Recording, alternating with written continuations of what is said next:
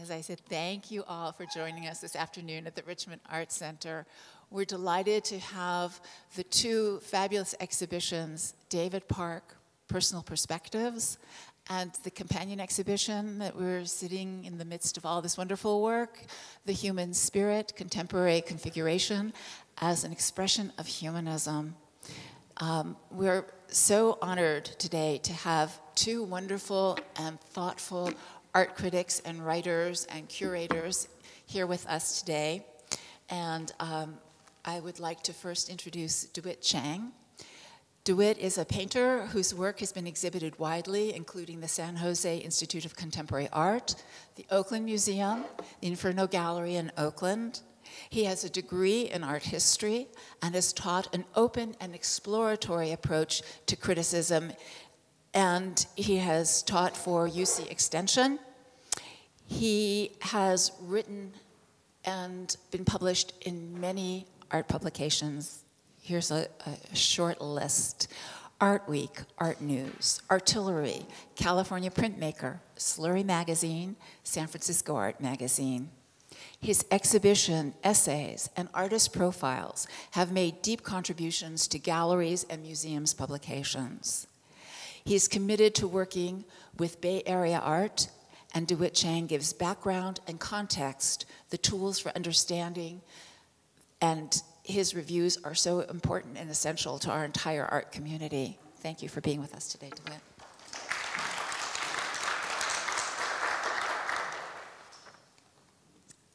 John Zarobell is Assistant Professor of International Studies and Program Chair of European Studies at the University of San Francisco. John Zarobell came to California from the Philadelphia Museum of Art, where his curatorial focus had included Edvard Munch and Edouard Manet, contributing catalog essays to Munch's Mermaid, Manet and the Sea, and Courbet and Modern Language. Professor Zarobell has also published in Berkeley Review of Latin American Studies. He's the author of the book Empire of Landscape, which examines the intersection of colonial politics and landscape art in 19th century France. Many of us know John Zarobell as a curator of contemporary art. He held the position of assistant curator of painting and sculpture at the San Francisco Museum of Modern Art, where he curated Frida Kahlo and brought Kerry James Marshall into the atrium. As a contributor to Art Practical, Zarobell presents an analytical approach to contemporary art practice. Thank you so much for joining us today, John. So, um, there are some questions that interest me particularly with this exhibition um, that I've been working with. And the one that is foremost for me is that when we consider how David Park was active in the art community. He was teaching at the California College of Fine Arts, which is now the San Francisco Art Institute. He was showing his work. He was, um, he was engaged, as engaged as you could be in the art scene of the moment. And in that language of abstract expressionism, David Park stepped back and he made a radical switch. He made a change and returned to figuration. And I would really love to hear, I mean, we're looking back now at a decision made 70 years ago, just about 70 years ago, and how we understand how radical that choice was. And I was wondering if, if both either of you in turn could um, sort of give us your sense of what meaning that held at that time for him.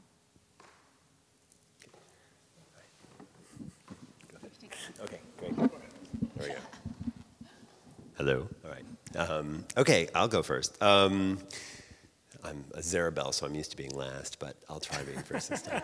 Um, the uh, you know, I actually first discovered David Park um, when I was an undergraduate and studying um, art. I was a painter.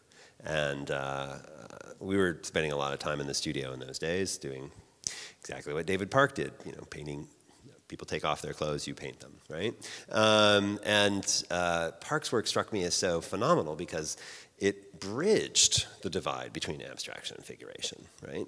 Um, many of the teachers that I had were simply abstract painters, like bar none. Um, and they, you know, educated at Yale in this particular generation, and, and um, abstraction was where they expected us to go as artists, and I, I felt very strongly about, um, you know, dealing with the world that you could see. And uh, so I was looking for a way to bridge that divide, and, and for me, Park was that.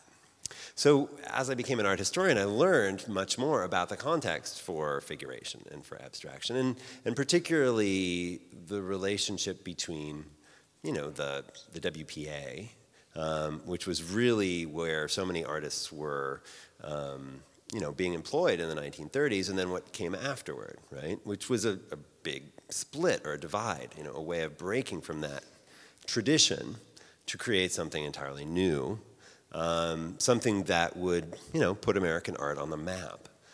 And I think that in, in a way, um, Parks, you know, in, you know, his relationship to that, which was really unfolding here. I mean, we have Mark Rothko and Clyfford Still teaching at SFAI in the 1940s. Um, that's unfolding right here in the Bay Area. And, and for him uh, to go back to figurative art in the midst of that huge leap forward, right? Um, but not be returning to the WPA, not be returning to the kind of inherently social dimension that art was given um, in that you know, particular historical context. Um, but trying to find a language of his own, that, that's what I identified with the most. And, and it does seem to me uh, a very brave move, um, but also one which, you know, in his own comments on it. There's snippets and quotes from him and whatnot. But the, you know, focusing on on the real world that we could all see is kind of meaningful if you're an artist. And and um, it, it's it's it may be radical, but it's also really sensible. So. Uh, yeah, I agree. Um, because we live in a, a, sort of pluralistic art world today, we, we tend to forget how much pressure there was on artists in the 40s and 50s because of, of Clement Greenberg's theories of, of, the linear development of art, which of course were transposed from the political sphere into, into the aesthetic sphere, and how much pressure there was on artists to, to go abstract. Um, cert, uh, uh, Florence Rubenfeld's biography cites one artist, I can't remember who it was, who said, I felt that Clement Greenberg was trying to kill me, literally. Uh, so yes, it was a big deal for, for David Park to, to become a trader just as it was for uh, Philip Guston similarly later on. Uh, and uh, Park, of course, you know, uh, was famous for having thrown away all his abstract paint, you know, thrown in the dump uh, because he felt they were the work of a painter who wanted to be important. And as a very humble but dedicated guy, this was antithetical to his self-image not, of course, the self-image of a lot of Abex painters uh, of the time, however. Um, so it was a big deal. It was, uh, uh, he did lose the friendship of, uh, uh, or he was estranged, let's say, from a lot of fellow painters for, for a while before they finally came around. Uh, Diebenkorn, I believe, saw in a magazine, he was in New Mexico at the time. This is from the book and from the interview with the daughter, which is very good. I, you watch that if you, if you missed it. Um, Diebenkorn thought that, that, that Park had lost his mind I mean, it's analogous to people calling Guston a traitor uh, 15 years later on. So, uh, of course, today we don't, we don't care about that, that, that particular battle, just as we no longer care about the battle of, between the drawing and, and the color people in, in the Romantic era, uh, classical era. Um, and we have complete freedom, uh, which is um, wonderful, but at the same time, um, coming in to see this show and the park show, which shares uh, an interest in the human figure and, and treats it in the most exacting and challenging and exciting way, uh, makes us realize that for every freedom you lose something too. So uh, I, I, I, think this is, um, is a marvelous show. Uh, I'm um, I remember that, that Helen Park uh, said her father um, described his own weakness as making paintings that were lugubrious. Doesn't bother me at all. Uh, he, he, he, had friendly criticism for uh, his friends Elmer Bischoff, who he found occasionally too sentimental, and of um, Richard Diebenkorn for being sometimes overly theoretical. But um, those are all actually um, they're pretty minor failings in, work as ambitious as those three uh, were, were, up to. Thank you, DeWitt. Um, you know, I, I think since you've brought up um, his cohort, Diebenkorn and Bischoff, um, that's, that's another thing that I have been thinking about for a long time, you know, for, um, for quite a while. This phenomenon that Park not only made this personal decision for himself, but that he was able to um, bring Bischoff into the studio and draw from the model and then um, when Diebenkorn got back into the Bay Area in, in Berkeley uh, and saw what they were doing, you know, eventually he started drawing with them also. And um, in the archives of American art, we hear the oral history that Diebenkorn gave, and he said essentially, you know, he felt outnumbered and, and, and, joined in and, and started to see that there was something there for him also. Um, but what I find so astonishing is that, you know, after a decade, we see that Park has passed away, he's died, and then we see a few years later that Diebenkorn has gone back to abstraction. We see Bischoff has gone back to abstraction. Hassel Smith has gone back to abstraction.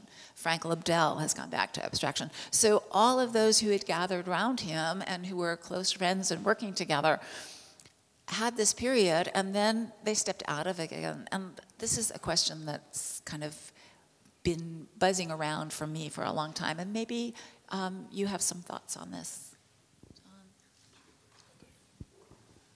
Um, hmm.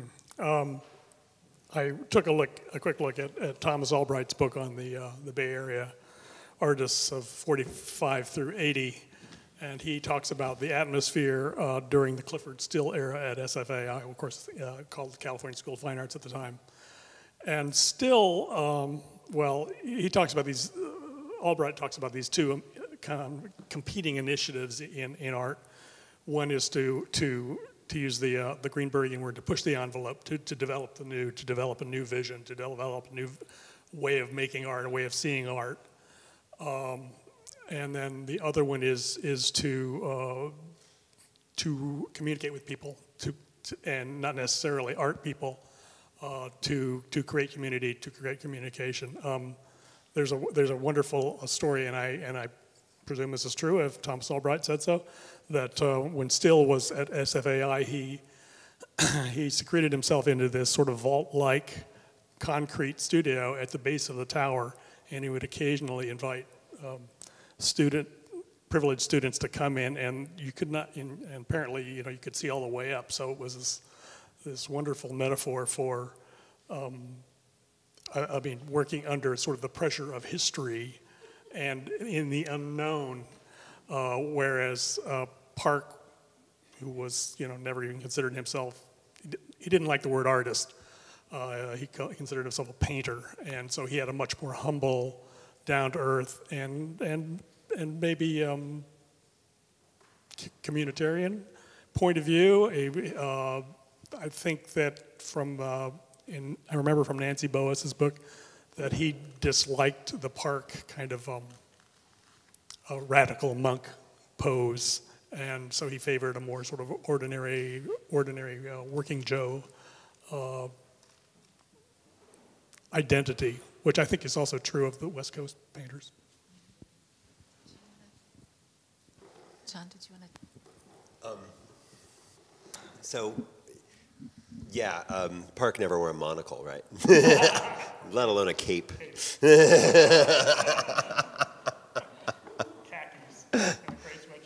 um, you know, I, I'm fascinated about this detail that that you know after Park passes, they go back to they go back to abstraction.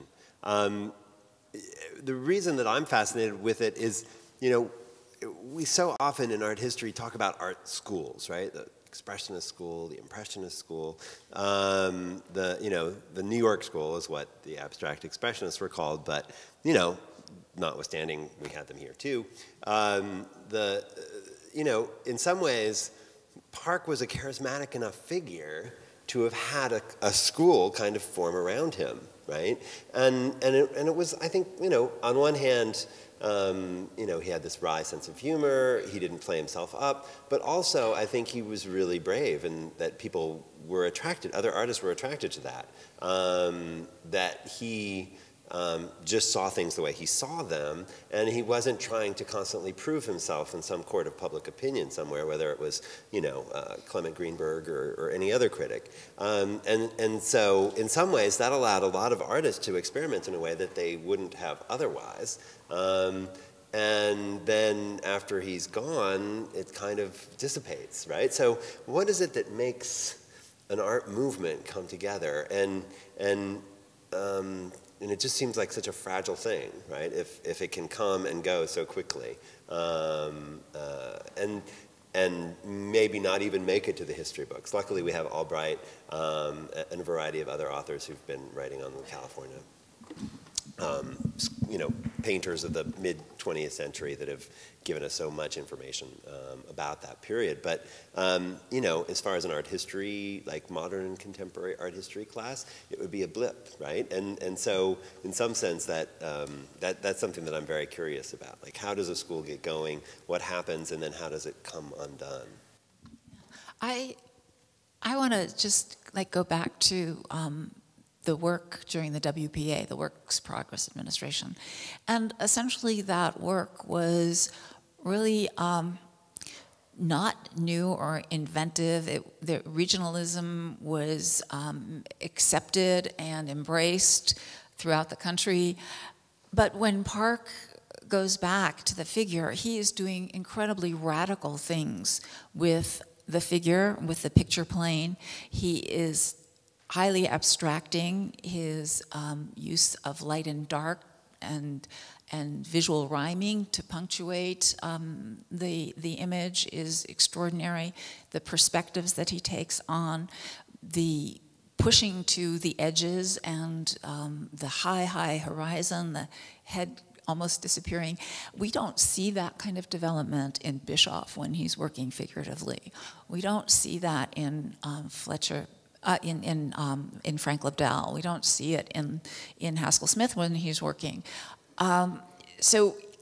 I mean, I, I question a lot, like where could this have gone? What could he have done? But the innovation and the, the real brilliance in what he's doing all the time is quite extraordinary.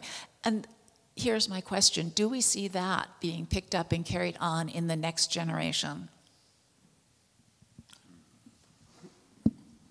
Who would you consider the next generation? Um, well, I think second generation would be maybe, you know, Bischoff's students, like um, Joan Brown is in this exhibition. Um, so Joan Brown and, and Terry St. John, you know, going on, where, where do we see okay. it Uh, well, I, I, I would, uh, I, I think that, um, I mean, not to address your question directly, but uh, I think that in the in the immediate post-war period, there was this terrific um, urge in all the American arts to create an uh, American identity, and that, that involved certainly for in New York a rejection of let's say European surrealism at the time, which was seen to be a kind of dandified European art. So hence you get the Pollock phenomenon and and and sort of the the uh, the American artist as worker rather than you know a dandy in a velvet jacket. Um, but by five, ten years later, uh, we have the beginnings of, of, a, of, an art world. It's you know, and it's basically the triumph of the American uh, abex style. And so I think that uh, these artists were were then free to to they were free of that pressure to look back to Picasso, Matisse, uh, Leger. Those those are some people that whose influence I think I see in Park. Um, and um, and to, to carry on that tradition while having, you know, gone through the phase of ABEX and, and learned certain things about composition, color, shape, and, and so on, those certain freedoms that they brought to that that the French painters had not uh, had not used. Not, not, that's not a judgment against them at all. Um, and so I think you know the later later generations build on that too, uh, and and grab the new freedoms that emerge with every generation. So I I, I don't think that um, uh, figured art, art is ever going going away, but it just goes in and out of style and. Uh, and abstraction and figuration, I think, really do feed each other. Yeah, I'm, you know, in terms of the next generation, I, yeah, I would say certainly Joan Brown is one of the central figures who develops a whole other level of experimentation, which I think plays off then into um, other artists who are still working today, like Squeak Carnwath or some, someone like that, right? Um, but I also see it um, uh, in West Coast terms ending up somewhat closer to pop art, right? So a, a figure like Wayne Thiebaud, um, in some sense, is um, picking up on some of those figurative elements, uh, albeit in a different way, and then turning them into something else. And that ends up getting read as pop art in relationship to, once again, things happening in New York. Um, but nevertheless, uh, I see this as an, uh, a kind of alternative, figurative California painting that's seeking to um, develop new territory um, and that finds, you know, another language. It's not like David Park, but there is a lot of um, physicality. Um, there's a lot of compositional play. Um, and, uh, you know, Joan Brown particularly pushes the terms of figuration and the way in which the figure is rendered. Um, so we, I, I, do think we see that, uh, that exploration continuing, but in pretty different terms. I have a question um, for both of you as as critics when you step back and look at work. Um, how are you affected or not affected? How do you relate to work which is perhaps engaged by the most contemporary concerns, be it um, social practice, installation, um, digital work, versus um, you know straight painting just for painting's sake, or how, how do you um, calibrate You want to go first? I'll, I'll go on that one. Um, I, I, I have a lot of mixed feelings about the contemporary art world. Um, but I, I do think, you know, painting has died and, and come back so many times now in terms of trends and all that. But I, I have a pretty blanket statement about this, which will sound a little off kilter perhaps, but I'm going to make it anyway, um, which is that painting is really about pleasure. And a lot of the social practice art and the new installation and uh, kind of work that's being done in a broader realm, both for biennials, also for museum exhibitions, but um, often to make a big impact. Is it's not about pleasure. It's about impact. It's about creating a, a sensation in the viewer, um, which is not one of enjoyment, but one of a kind of awe or um, you know um, amazement, right? Um, uh, and and therefore, it actually is aiming at, at, completely different things. And sometimes, you know, with social practice, there's direct social intervention that's being being um, offered as an alternative, right? But it, in the end, I think painting.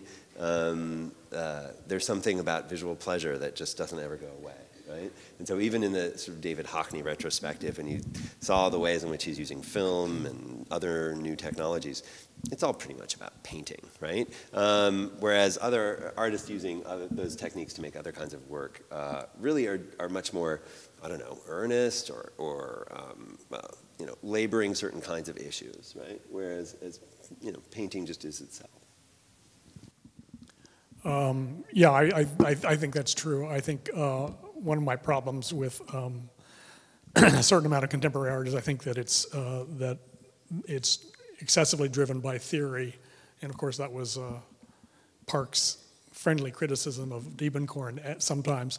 Um, that that the the theory, which I mean, which is often a, a kind of sociopolitical uh, idea, is is is enlisted as the rationale for the work and because there are no rules about medium or, I mean, because all these barriers have broken down, artists can really do anything they want in terms of multimedia, in terms of combining media, in terms of bringing the backstory of the creation of the artwork into, into the artwork in terms, in fact, in performance, making it the, the work itself.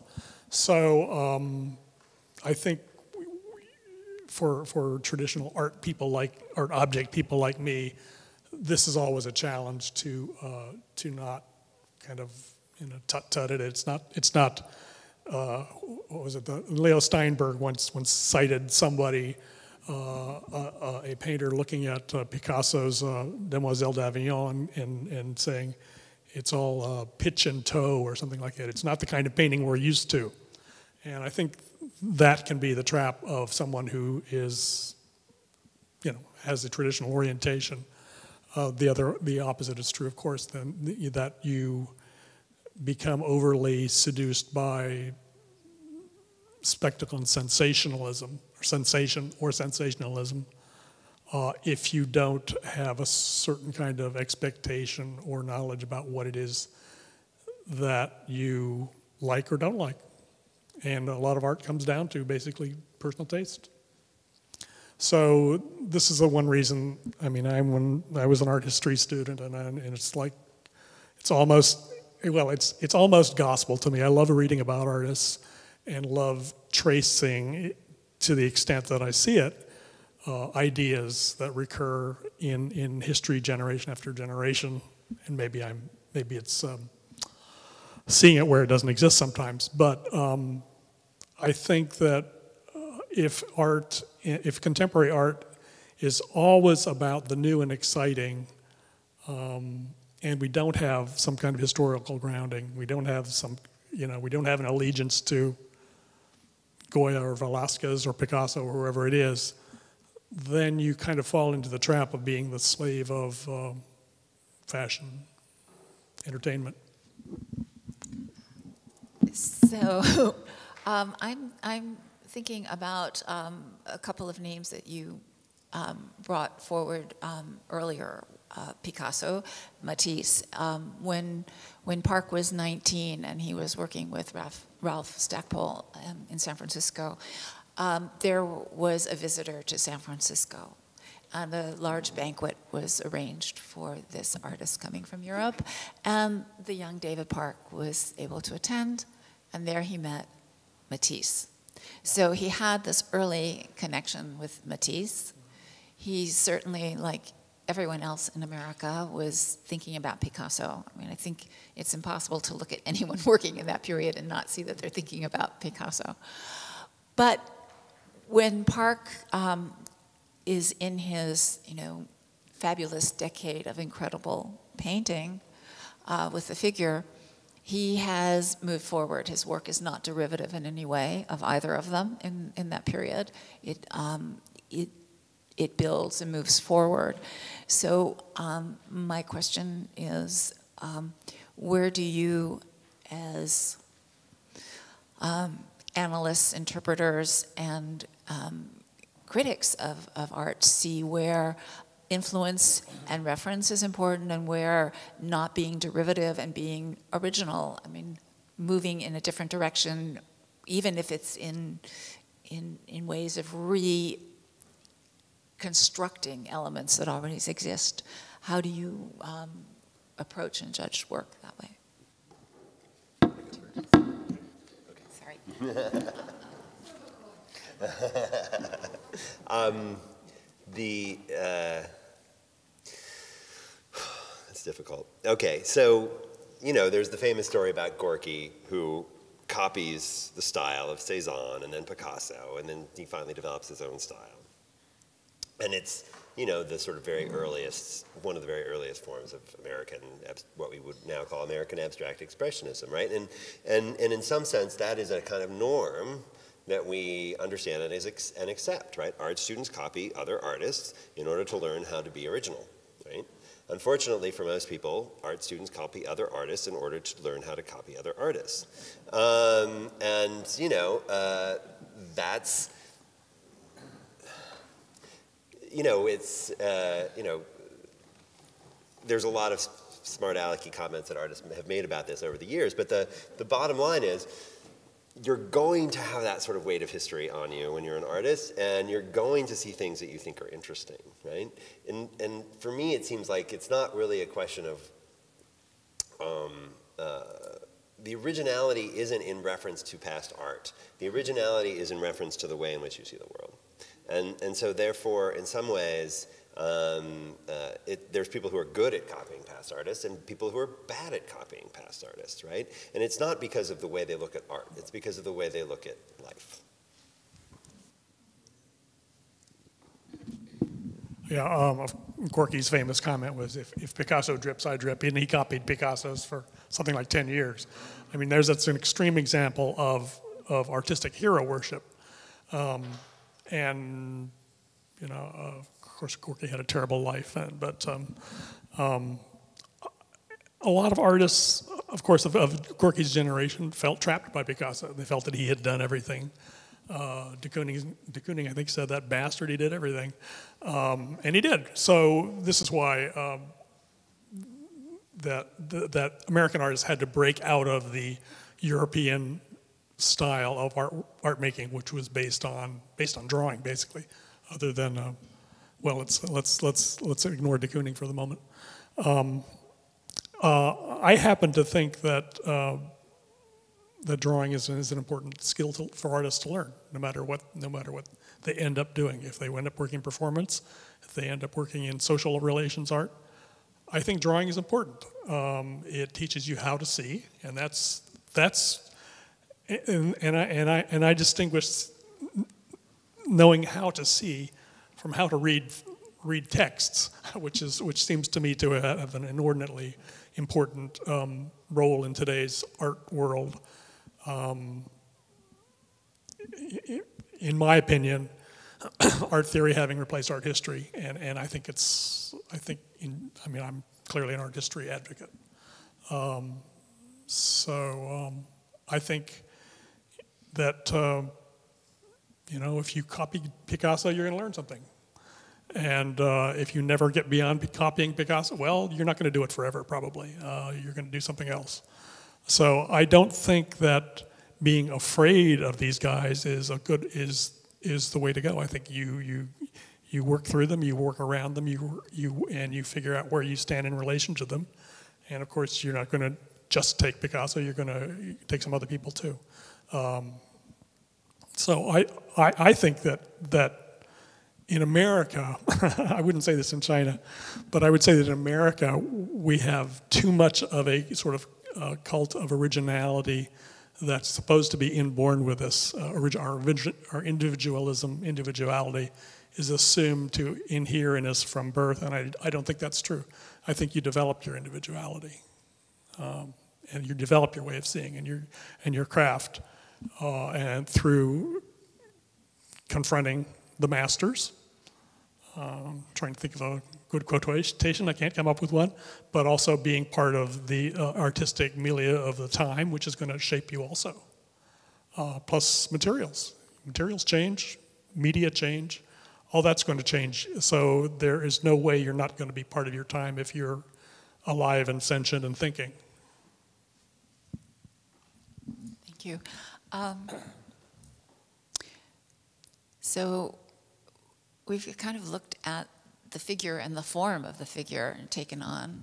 But um, Park also um, had a very strong conceptual approach to um, painting, to um, creating these images, to structuring them. His compositions, they're, they're, they're highly, highly um, contrived and, and structured and, and, balanced and worked up.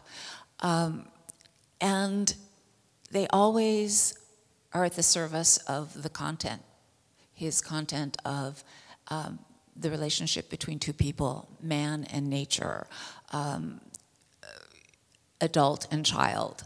I mean, these, these themes, um, the music, the musicians and their musical instruments in unison, um, these, these are always what he puts his um, conceptualization to at that you know it's it's at service.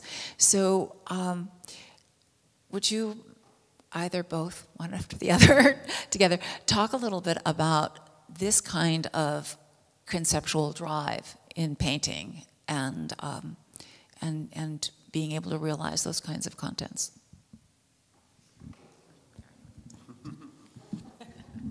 Well, I'll take it just because just because it's it's a fair trade. Uh, I'm um, I'm not I'm, I'm not sure that I would call him um, conceptual in the way that we use the term nowadays, which means driven by non-visual ideas to a large extent. I think he was very much an observer, and uh, and of course, I think he had um, that that apprenticeship, or or at least yeah, I, th- I, think he had had done some kind of apprenticeship to the modern masters. I can see it in his in his drawings. I can see the Picasso there, uh, the Leger, and maybe even the Matisse. Uh, so um, so to the if if if a, if a sort of affinity for certain masters in art history. Well, I suppose you could call it conceptual, but I think it's it's very different from what we're the way we use it today, which is um, Duchampian. Yeah, um, I, I, agree with DeWitt on that one. It, the, the conceptual is kind of a code word at this point. But I, I, also see what you're trying to get at, Jan, that there's something about his painting which is very um, clunky, right? yeah, um, I mean, with Matisse, you think about the, just the incredible elegance of line and everything he did um, just looks so, um, you know, uh, perfect in, in, in, the way in which the different dimensions are set up. He just had this kind of character of being able to do that, whereas Park is, is not. And, and, um, and so in some sense, he's working this over, and you can see him working this over. Um, you can see it in, the, in many of the, you know, ink drawings um, that he did in the studio, you know, the quick studio shots, right? Um, doing these ink drawings and being like, okay, let's try to make a, a big thick line and see if that will actually um, work, right? It's the shadow that he sees in the figure, but will it work to actually delineate the figure, you know? And then we'll, we'll try to, you know, we'll put a foot in there so that you sort of get a stop, right? But, but in some sense, he's working with these visual elements which he's taking apart and putting back together um, and playing with and experimenting with. And so that's, I think, what makes his painting, um, in some sense, really original to us, is that rather than really um, model himself on a kind of mastery or uh, elegance a, sense of, um, you know, um, bringing it all together. Um, he shows us how he's working through these problems um, and painting one color on top of another and breaking up the composition in a different way um, to see if he can do that. Like, it's almost like, you know, can I get away with this? Um, if I make, you know, the horizon line that far up, or if I, you know, have the, the you know, the, the main figure that close to the surface of the painting, um, will it actually work? And, um, and that's kind of exciting because every painting feels like um, he doesn't know if it's going to resolve. Um, not, not just how it's going to resolve, but if it's going to resolve. Um, and so that, that, that leaves us with a, a sense, I think, that Park has really uh, worked through a problem with this. And that, that's definitely different from, from conceptual art as we understand it. Okay, so I have to say that I think when he, um, when he has a large figure with its back to us, he is making a statement. I mean, he's, he's determining how we relate, what access we have to the scene, to the figure, to what's going on. I think these are deliberate conceptualizations of what he's going to do with that picture. And um, if you see him with the, um, the jazz band at the Art Institute, and you see just this long, long ear along the edge that's, that's there, I mean, he's making decisions and then he's making paintings to allow those points to be made. In fact, I think these things are determining the painting, and in that sense, I would consider them, um, you know, yes, it's, it's not Duchampian, but it is a conceptual approach um, to which everything else follows. And it has, it has meaning, and it gives, you know, the, the meaning of the painting, that content, is in part how it is structured. It derives that meaning from how it's structured. Um, Um, well, so um, let me just ask you, as as um, historians and curators, how you approach um, the figure and and the presence of the figure in contemporary work. I get to go first this time. Um, so the you know, it, it's interesting coming and looking at this exhibition and thinking about it as a figurative exhibition um, because there's a lot of different kinds of work. There's photography as well as, you know, drawing and painting. Um, there's work, uh, you know, which just features hair, for example. Um, uh, there's a lot of different versions of figuration here. And so, in some sense, while the, um, the question of um, rendering the figure and making the figure meaningful in a contemporary context um, is one that is still somewhat hovering here. Um, I think that the figure has started to take on um, different meanings in different ways. Um, and so, in some ways, we would have to think of the figure as um, an image or symbol for something within that's being deployed within art, right? So in Park's time, um, it was a raging debate. Now it's not so much of a raging debate. So what does it mean, you know, to move back and forth from figurative to abstract, right?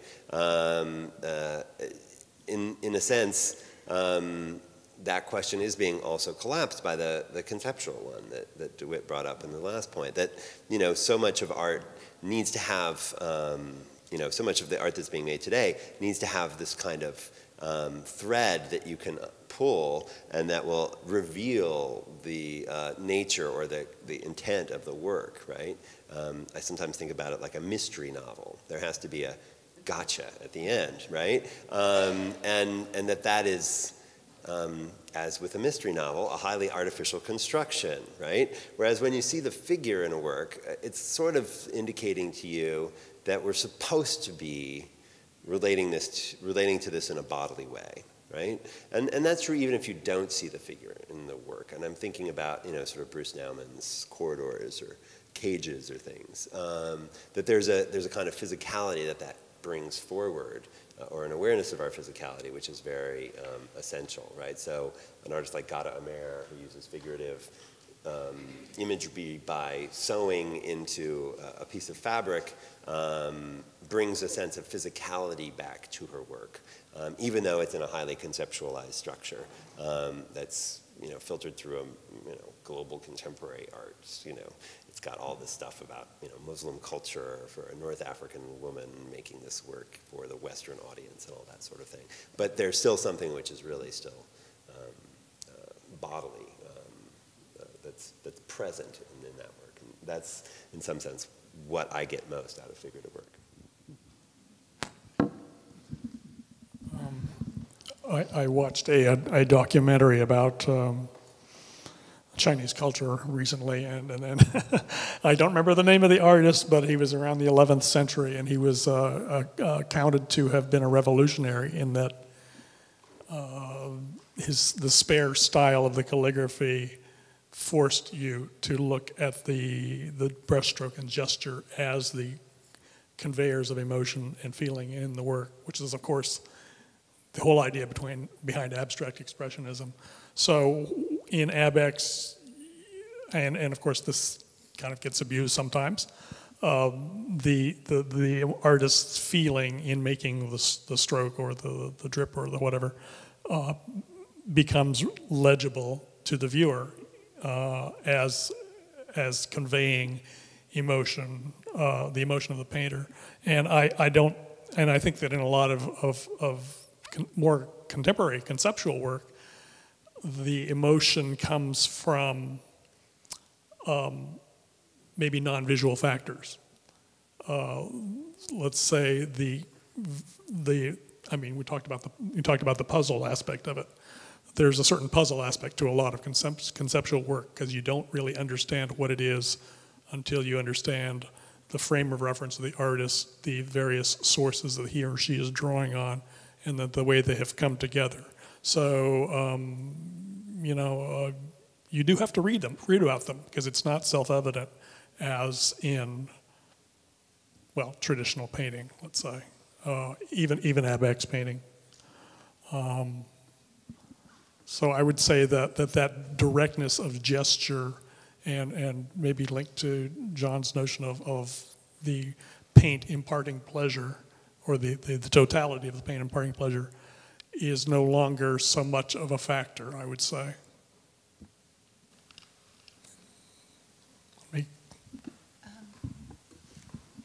I'm just wondering if there are questions from the audience, if um, we could open this up, if you have some questions to ask of John or DeWitt. I think the figure is, it's like a vehicle for expressing yourself. You can use it as a replica of the figure, like when you do a realistic painting or life drawing. But you can also use that figure to evoke totally, like the things you're speaking of, the things you can evoke in abstract painting. Um, but I think that for me, there has to be some type of emotion or conceptuality that comes across. And it just seems to come that way. I'm not contriving it. But maybe I need to do that more, be more contriving. Uh, yeah, John talked about the idea of unpacking or decoding a work, and um, and of course th- this is true. I mean, uh, uh, and and but that was true also of, let's say, the Victorian painting of uh, of 200 years ago, uh, Ophelia lying in in the pool of flowers. We know the story behind that. We know we're supposed to react to it in a certain way. Uh, Western civilization had this sort of common frame of reference, the Iliad and the Bible, and Milton, uh, which, uh, which of course is, is completely different nowadays. Right. So, um, and, oh, no, no, and also, um, artists I think are, are, are freer to explore more, you know, uh, obscure personal areas of interest. That's true. So, Let me also. I just wonder, though, um, how do you feel about the figure today in art? Do you feel it's, it's, it's a valid means of expression? Or Uh, it will doesn't- never not be, I think. Um, I mean, in, in some sense, right, the, what DeWitt was talking about was a, um, a kind of literary or narrative based tradition, right? And just as if we look at Renaissance painting, it's the Bible, right? It's like, okay, I learned my religion through art history, basically. um, so, in some sense, there is that. But the, the question, of course, becomes uh, in today's world, what is the narrative, right? Um, so, what can we say um, about a figure? Uh, and, and in some sense, that, that'll be something that we say personally, right? As opposed to something which is kind of universal, as the Bible was thought to be by those Renaissance artists. Um, and, and so, in some ways, um, it becomes much more uh, subjective, or um, uh, at least um, the narrative that we bring to that may not necessarily be the narrative that the artist had thought of, right? And I think that what makes a picture powerful is that um, it's adaptable, right? So that we can, you know, they say about Shakespeare that it was, you know, if you were super literate and you knew all of your Virgil, then it was great theater and if you you know couldn't read and you know could barely afford to you know take the floor seats it was still great theater right? So in some sense that's the, the same thing i think about figurative painting today. It's that it's um, that what makes it great painting is that it, it is applicable that people can find their narrative in there um, even if it's not being given from on high I just, I just want to point to two works in the exhibition. Um, the one is Juan Carlos Quintana's um, painting of the skull with a cigarette, and the other is next to it, and that's Charles Garabedian's painting. So again, if you don't know the Iliad and you don't know about sacrifice, you look at that painting and you still can figure the narrative, and you can look. You don't necessarily know that. Um, that Van Gogh painted a skull with a cigarette, you know, grinning at you. But you have all of that contained in the marks, in the scratching, in the layering, and you have a whole lot of um, expression in, in the choices of the, the skull, the decapitated um, character.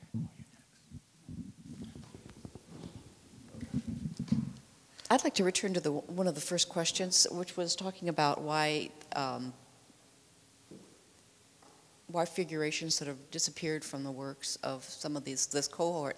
And I find, for me, it's just that you, the answer is in what you said about um, Park. He learned something from doing using the figure. He, he, he grew through using what was around him. And I think the other guys didn't, because they're in different natures, um, didn't so much. It seems like a lot of Diebenkorn was, he was really landscape. you know, even, even when he was abstract. Um, Bischoff, I don't know.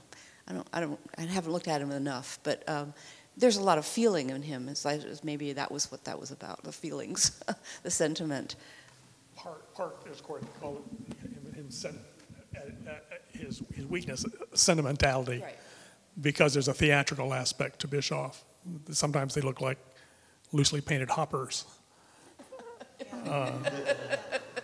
Excuse me. Peter Selz has also been asked why in his um, exhibition at MoMA he included Diebenkorn and Oliveira and not Bischoff. And he's made the same comment that it was too sentimental and too charged with, you know, the personal and the emotional. You mentioned that after Park died, the School of Figuration fell apart.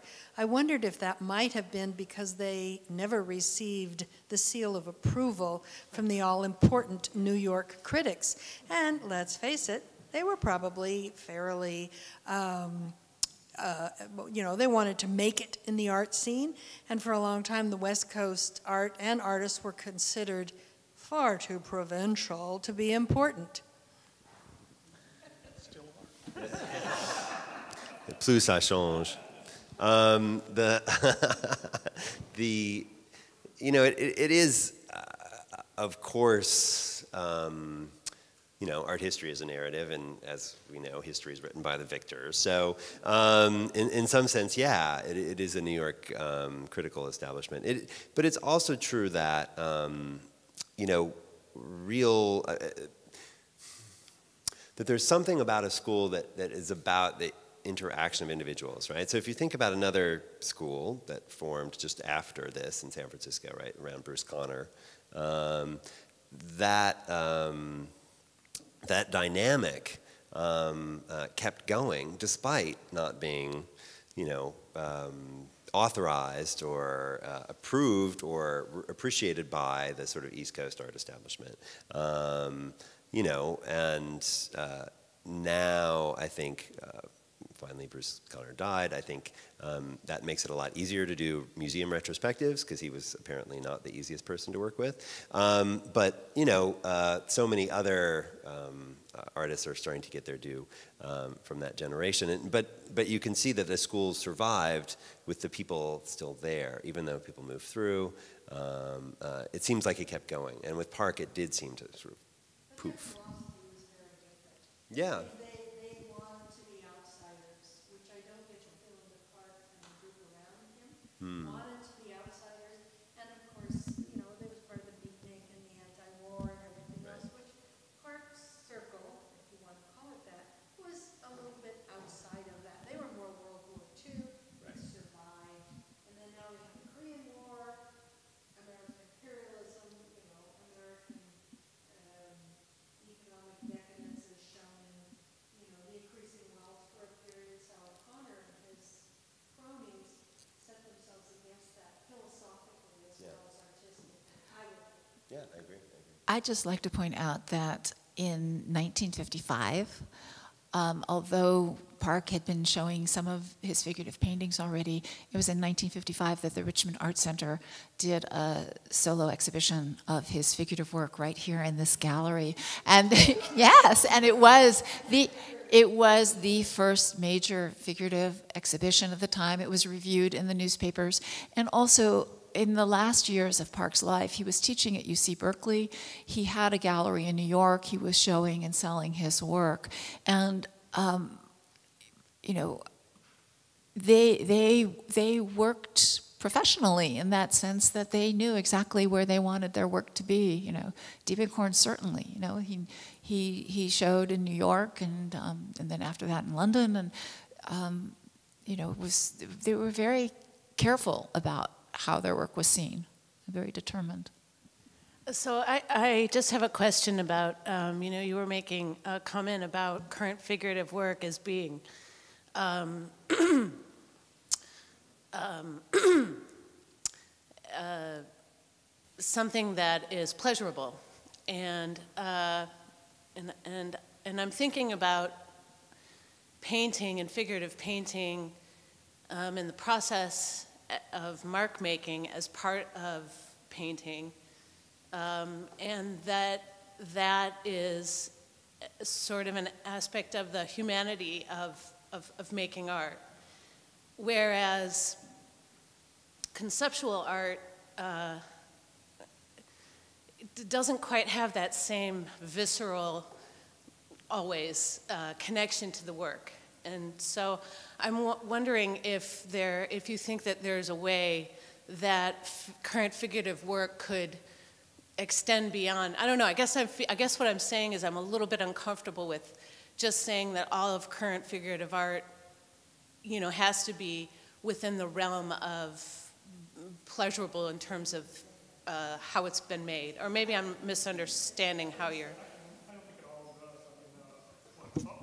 Was just in the news, right? I mean, he's he's definitely a contemporary figurative artist, although he's painting in a style that's 150, 200 years old, very well. Uh, so I think there, you know, there are all kinds of artists, and they're all finding a different different place in art history or a different set of people to draw on. Um, so I, I, again, I, I think, as John said, I think the figure never goes away. It's just that there, and and um, as this is as is visible here, and um, and of course, you know, uh, again, we all have our own individual tastes as to to what kind of um, what we expect from an artwork. Uh, for example, uh, I mean, this has nothing to do with the figure, but the uh, the photos of the Bechers are absolutely scientifically neutral in their in their affect, and yet I find them wonderful. Uh, where, but you know, not in the way I would find a Lucian Freud painting, of course. Right. Um, and I think that in some ways it's possible there's a conflation of a couple of the different things I said, one of which was about painting and pleasure, and the other about figuration and you know, basically, I think you made the use the adjective visceral, which I think is a great way of doing it. It's not what I originally came up with, but it's probably better than what I originally said. Um, but you know, uh, that there's a sense of um, there is, of course, disturbing painting. Uh, don't get me wrong, but the um, there. The, the thing about making a painting, I mean, if you look at, for example, those Janine Ottingers in the corner, um, there's something about her work that I love, which is that it's so awkward.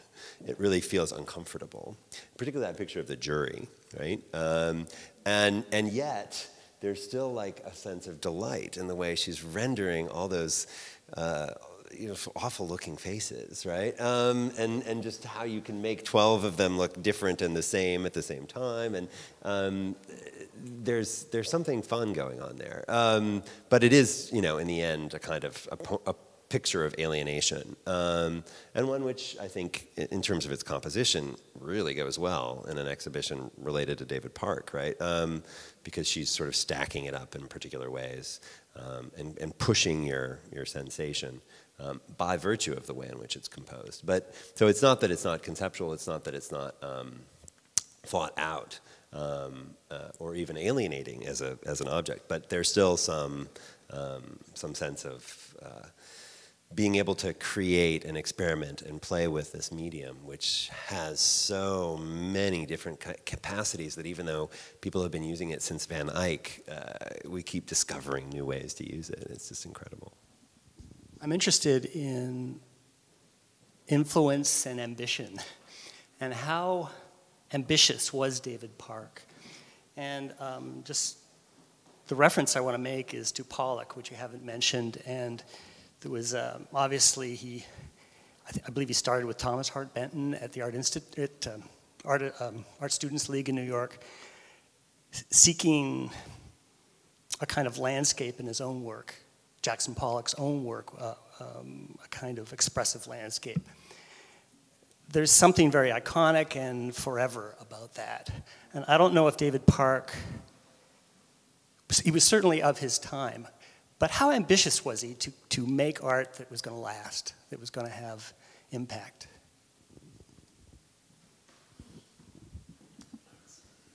That's a tough one. Um, I, I will pick it up though because I had this wonderful experience or this wonderful opportunity, I guess you'd say. When I was at SF MoMA, um, Janet Bishop was starting the planning for a David Park retrospective, which unfortunately has not yet come to pass. I don't I don't think it's impossible, but it's not yet come to pass. Um, but at the time, she tasked me with uh, assembling all the David Park images and filling the computer banks, which was one of the most boring things I ever did. But um, I had the opportunity, on the other hand, to go interview um, former students and other people who knew him um, as well as his daughters, about him. Um, and, and from those interviews, particularly with his daughters, um, I was able to glean a little bit of a sense of uh, who the guy was, uh, albeit you know more than a generation removed. And it did seem like um, ambition wasn't his thing. Um, yes, uh, he wanted his painting to be seen, and indeed, in the very fraught context in which he was showing it, um, at the San Francisco, um, you know, artists, um, Artist Coalition, SFAC, right, which um, uh, was being held, you know, an, as an annual exhibition, um, uh, showing his work, sending his work in, and wondering whether it would be accepted or not. This was a big deal for him. Um, but basically, he was just somebody who wanted to paint. Um, as far as I can tell, that was his thing. He wanted to paint, um, and it really didn't matter um, if he could make a lot of money, uh, if a lot of critics wrote about it, um, if everybody loved him for it, he was just going to keep painting anyway. Um, he loved playing music too, but painting really was his thing. Um, and, and so he's, he's this interesting figure. You see a lot of musical images in his painting, but nevertheless, painting is what he did for work. He got up, he worked in the studio every day, according to his daughters, right? Um, they could come in, he would he would not ignore them, but he was painting. That was his work. He was doing it, and that's where that's the way it went. So um, in that sense, he seems like um, someone who really didn't worry so much about history, um, or you know, which is so much about what our ambition is in some sense. Like I want to live beyond this. I want this to be remembered, or whatever. Um, uh, and it, I don't think that he had he had that in that sense. I, would just like to add, I'll pass it to you in a moment. just like to add that um, we have seen a huge change in what it means to have an art career. The idea of people didn't talk about it in those terms, didn't have, have those expectations. Uh, really, um, they made a change at the um, College of Fine Arts um, so that people could get master's degrees without having a bachelor's degree so that artists could teach. I mean, they were making all kinds of accommodations because, you know, teaching was a way of surviving. And the expectation for decades, you know, centuries, but for the most part, was just not what um, young artists coming out of art school with an MFA expect. So, um, you know, I just wanted to add Oh, yeah, there's, there's definitely been a change in, in the role of, well, the way that people see a life in the arts in the past 40 years, 50 years. Uh, I, I, mean, I think that, that Warhol's statement that art is a business like, or job like any other job has been massively influential with some good results and some bad results. Uh, Park was from a, a, different generation. They, they, these people, these who grew up in the 40s and, and 50s, had no expectation of making uh, a career. Well, they began to, but uh, originally they had no expectation of having a, a, a career or, or, making it a job. It was, it was indeed seen as a kind of uh, voluntary priesthood. Uh, and of course, the Parks kid's nickname from was Old, Old Painthead. So I think that, that says something about, about his dedication and his enjoyment of just being in the studio pursuing his vision. I, I mean, um, the point that he worked the graveyard shift so that he could paint during the day is a sign that um, that was the most important thing. So, uh, and, and he was always showing and always concerned about the work getting out. He um, participated in the annuals here as well. We had annuals here in the 50s, and he participated in the, a number of those along with Diebenkorn. And, um, and I think, you know, there's no one makes work hoping, I mean, with the idea that it's not going to matter to someone somewhere. It just, um, you know, he, he was generous. He gave artwork to his friends. Um, we have some work here that has been loaned by um, the two daughters of Charles Cushing, the composer, was a close friend, and um, Jennifer. uh, talked about her parents coming home at night and seeing something by the door wrapped in newspaper. And it was a portrait that he did of Picat and just left for her. And that's what we hope to show in terms of this exhibition just how um, wonderful he was as a man and um, how important his friends were to him and giving and sharing he was, generous. The question was, was, was the fire, the fire of 1923? Which fire? Oh. David Park. When he destroyed his book. Oh, when, when he destroyed his work? When he drove it to the dump? Is that what you're asking about? When he gathered up all of his, um, his abstract work that he had in the studio in his home, and he loaded it into his truck, and um, he and his wife Dee Dee drove to the Berkeley dump and got rid of it. So there, there are some pieces that had already gone out into the world that had been purchased, that had been given as gifts. So there are some, very few, abstract paintings. Um, but essentially, he destroyed everything. I have a question. Um, you talk a lot about uh, schools and movements that dominated the 50 years of the last 20th century. In the last turn of the century, since the turn of the century, are there movements, schools going on? Is that era gone? And is that attributed to why you have concerns what's going on in art of today? Um, well, I got us into that, I guess. So, um, yeah, I mean, I think that there's um, generally uh, speaking, and this was even true when I studied uh, modern and contemporary, or, or when I studied contemporary art history in the 1980s, right? Um, there was it was being taught to me then that once we hit the pluralist era in the 1970s, then we started to um, lose a sense of the avant-garde having its own self-conscious mission, right? Something about postmodernism trips up our notion of historical progress, right? So that we now no longer can maybe believe that there is this group of artists who's ahead of society and that they are the ones who are going to take us, take the art world forward, um, and that the, the artists that are, you know, working today will be learning from them in order to move that into the next generation or whatever. Um, and so now we see lots of different things happening all over. And, and this has, of course, been exacerbated, exacerbated by globalization.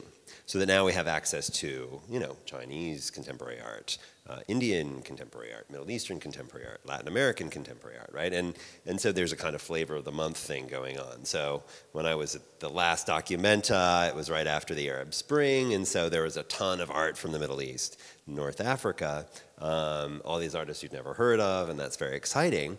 Um, but, you know, one, one would be hard pressed to figure out what you know, what their art constitutes progress over and above, right? Um, if not, to say, the political situation that they've all sort of endured over the last couple of years by that point, right? So, in, in some sense, it, we, we, we lose that sense of um, time, and instead it's replaced with a sense of space, right? That's how I would best describe it, is that instead now we have artists operating in different um, uh, almost cells around the world, and that those cells now have a lot of contact with each other, partially because of you know residencies which have expanded considerably, but also art fairs, biennials, all these different international um, exhibitions that are happening beyond the things that are happening at museums that allow artists to see each other, to learn from each other, to copy each other, and to grow as artists. And so, in that way, we're really, in some sense, lost in terms of what's next. I would say also that um, digital technology is having and will have an, an, amazing effect on the art world. This is the new, this is the new photography. Uh, it is the new uh, lingua franca. This is the new base language that all artists are going to be dealing with. Oh, let's say 90, 95% anyway.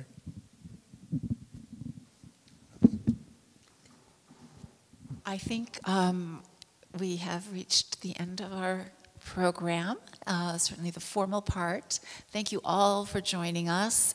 We have coffee and refreshments, and if you'd like to help yourself and, and have a chance to um, chat with our speakers, thank you again so much. Um, and we have a concert coming up. We're very excited that the Del Sol String Quartet will be here on Saturday, May 7th. It will be 2 o'clock in the afternoon. You are all welcome to join us. We've been um, really privileged to have them come in when we had our David Park, excuse me, when we had our Corn show and our Mildred Howard show, and to have them come in for David Park is really going to be extraordinary, and we're looking forward to these fabulous musicians. We hope you'll join us then. Thank you.